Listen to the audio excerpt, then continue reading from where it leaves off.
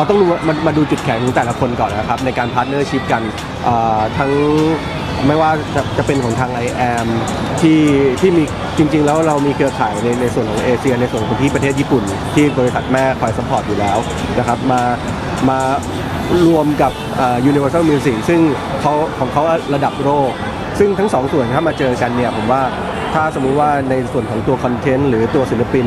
เอ่อสามารถ perform ได้ดี และเป็นศิลปินที่ที่ที่อยู่ในมาตรฐานของทาง Universal Music ผมเชื่อว่าในในส่วนของตัววงนี้ก็จะไปได้ไกลมากครับผมครับใช่คือการตลาดเราคือว่าอย่างที่คุณจ๊อบบอกคือเราใช้ส่วนที่เรียกว่าเอ่อ expertise ของแต่ละบริษัท iAM เป็นบริษัทที่ develop ศิลปินได้ดีมากอย่าง BNK นะครับ Universal เราเองเรามี network เรารู้ว่าการทำศิลปินแบบ international เป็นยังไง วงไลล่าเอง เดี๋ยวคงจะได้เห็นว่า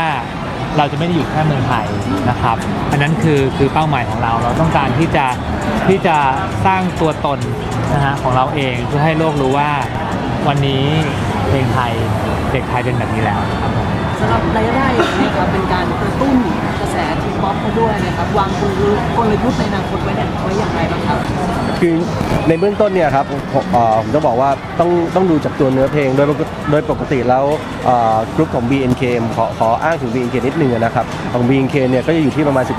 13-35 ในส่วนของตัวไลล่าเองผมเชื่อว่าด้วย performance ของน้องอในการในการเทรนนิ่งที่ทำร่วมกันเนี่ยด้วยด้วยตัวคอนเทนต์ค่อนข้างแข็งแรง แล้วก็โตขึ้นกว่าการเป็น BNK ค่อนข้างเยอะในระดับหนึ่ง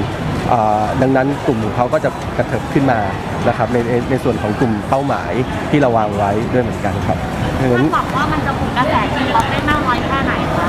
คือผมว่า T-POP นะฮะกระแส T-POP เนี่ยคงไม่ได้เกิดขึ้นด้วยวงวงเดียวหรือค่ายค่ายเดียว เป็นกระแสที่ทุกคนกำลังทำขึ้นนะฮะอ่าเราหวังว่าเรารู้ว่าวันนี้สิ่งที่พวกเราทำทั้งสองบริษัทมารวมกันทำเนี้ยและน้องๆ 6 คน สิ่งที่เขาใส่ลงไปเป็นสิ่งที่ดีที่สุดที่เราทำ แล้วเราคิดว่าแค่นั้นเนี่ยมันทำให้ทุกคนเห็นว่าการที่มีเอกลักษณ์เฉพาะตัวของวงมันทำให้คำว่า T-POP ที่ทุกคนมองหาอยู่เนี่ยมันจะค่อยๆกระจ่างมากขึ้นนะครับเราก็ถือว่าเป็นถือเป็นอีกหนึ่งวงนะฮะที่ที่ผลักดันตรงนี้นะครับผมว่ากลุ่มเป้าหมายของทางไลล่าครับยังไงบ้างครับอย่างเมื่อกี้ที่ผมบอกอา ว่าถ้าสมมติว่าเป็นของ BNK จะอยู่ที่ประมาณ 13ถึง35 ของไลล่าเนี่ยน่าจะต้องโตขึ้น น่าจะอยู่ที่ประมาณ 15 ขึ้นไป แต่ยังไงก็ตามเอ่อเราจะจับแมสอยู่แล้วครับ แต่ด้วย performance ของทั้ง 6 คน แล้วก็ด้วยด้วยเครือข่ายของทั้ง Universal Music แล้วก็ทางทางไลแอมเราจะช่วยผลักดันวงนี้ให้ให้โตขึ้นไปให้ได้มากที่สุดครับ แล้วก็อ่าวงนี้อย่างที่บอกเราไม่ได้ทำมาเพื่อแค่จะอยู่ในเมืองไทยนะครับ เป้าหมายของเราว่า วันนี้เนี่ยเราจับมือกับไอแอมเราต้องการที่จะส่งออกวงไลล่าออกไปนะครับในเครือข่ายของเราทั่วโลก รู้สึกยังไงบ้างครับกับการร่วมมือกันของสองค่ายเพลง และก็น้องๆอีกหกคนครับในส่วนของในส่วนของพวกเราผมผมรู้สึกว่าผมผมดีใจนะครับ เราได้เรียนรู้กันและกันเอ่ออย่างที่บอกว่าแต่แต่ละแต่ละส่วนแต่ละคนมีความเป็นอ่าเขาเรียกว่ามืออาชีพในส่วนละส่วน แล้วเรามารวมกัน เราได้เรียนรู้กันและกัน ในส่วนนี้นะครับมันจะช่วยทำให้ทำให้ไม่ใช่แค่วงอย่างเดียว แต่ผมเชื่อว่าทั้งวงการเพลงน่าจะต้องจับตาดูด้วยเหมือนกันครับผมว่าเหมือนกับน้อง 6 คนที่แตกต่างกัน แต่วันนี้มาเป็นยูนิตเดียวกัน คือเบื้องหลังเนี่ยเราก็เป็น 2 ทีมที่ไม่เหมือนกัน แล้วเราก็มาจับมือกัน ผมว่าเราทำงานกันเต็มที่ทำงานด้วยความเคารพซึ่งกันและกันอืมมองเห็นสิ่งที่แต่ละคนมีดีไม่เหมือนกันนะฮะก็ในปีหนึ่งจริงๆ เกือบ 2 ปีแล้วที่ผ่านมาอ่าอันนี้ใน Universal เองก็เป็นโปรเจกต์หลักของเรา แล้วเราก็สนุกกับการทำงานกับ i อ m มาก แล้วก็อันนี้เป็นแค่ก้าวแรกเป็นแค่โปรเจกต์แรกด้วยอืมซ้ำนะครับ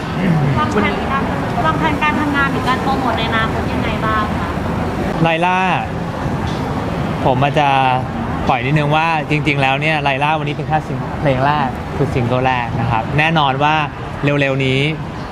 ก็จะได้เจอน้องๆอีกด้านหนึ่งของเขาผ่านอีกซิงเกิลหนึ่งนะครับนะเพราะฉะนั้นปีหน้า 2020 จะเป็นปี 2021 จะเป็นปีที่ยิ่งใหญ่ของเขามากเขาจะมีโปรเจกต์อะไรอีกมากมายให้แฟนๆได้เจอครับทั้งสองท่านฝากโปรเจกต์รายได้นะครับครับเอ่อสำหรับผมในส่วนของ iAM ผมรู้สึก ยินดีและดีใจนะครับได้ที่ได้ร่วมงานกับทางทางทีมของ Universal Music ทุกคนจริงๆ เพราะทุกคนเนี่ยนอกจากที่ที่เราเห็นเนี่ยเมื่อกี้คุณคุณพอบอกแล้วว่าทีมเขาสนุกมาก เราเห็นว่าอย่างนั้นจริงๆ ทั้งสนุกทั้งทุ่มเททั้งทั้งให้มา มันเป็นการเรียนรู้กันและกันที่ที่ผมว่ามันมีคุณค่า โดยโดยเฉพาะนอกจากพวกเราแล้วเนี่ยในส่วนของตัวน้อง ผมเห็นมีความรู้สึกภูมิใจครับภูมิใจกับกับกับตัวของเขาที่ที่เขาได้พัฒนาตัวเองขึ้นมาจาก จากความยากลำบากทั้งที่เขาต้องมีทั้งสองสถานะ ทั้งเป็นทั้ง BNK ด้วยแล้วก็เป็นทั้งไลล่าด้วย แล้วน้องก็สามารถทำได้ดี ก็อยากจะฝากให้ทุกคนช่วยเป็นกำลังใจให้กับตัวของน้องนะครับ กลุ่มนี้กลุ่มไลล่าเอ่อในการที่เขาจะได้เดินทางในสิ่งที่เขาเอ่อมุ่งมั่นแล้วก็ชอบแล้วก็รักในสิ่งนี้ต่อไปเรื่อยๆครับ ทั้ง 6 คนทุ่มเทกับตรงนี้มาก วันนี้ดีใจที่เขามาเป็นศิลปินนะครับข้างหนึงเป็น BNK ในวงนี้ได้ก้าวมาเป็นศิลปิน ผมก็ขอให้ทุกคนติดตาม เพราะว่าวันนี้เนี่ยน้องๆเขาใส่เกินร้อยมากันหมดกับโปรเจกต์นี้นะครับ ก็ขอให้ติดตามเพราะว่ายังมีอีกหลาย ๆ ด้านที่ให้ทุกคนได้ค้นหาอะไรล่าครับ